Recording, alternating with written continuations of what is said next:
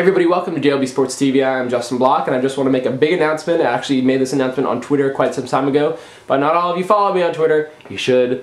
Um, Twitter handles down below. Uh, I just want to make this announcement for everybody that follows me on YouTube and whatnot. Um, I will be spending my second semester in London next year. Yes, spring 2013 I will be in London. I land in Heathrow, I think, yeah, January 23rd and I leave May 25th.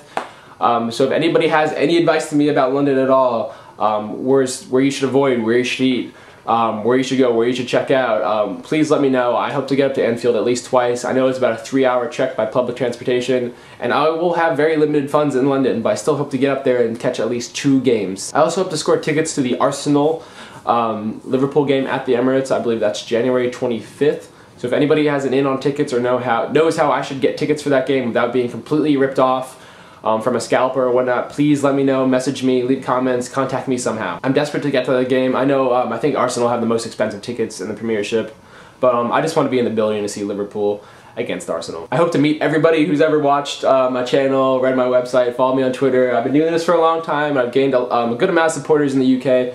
So I might do a meetup um, at Anfield or somewhere around London um, just to watch games, talk about footy, who knows. But if you want to meet me and hang out, I hope I'm able to meet every single one of you. I'll be making more videos um, as, the, as we get closer to departure.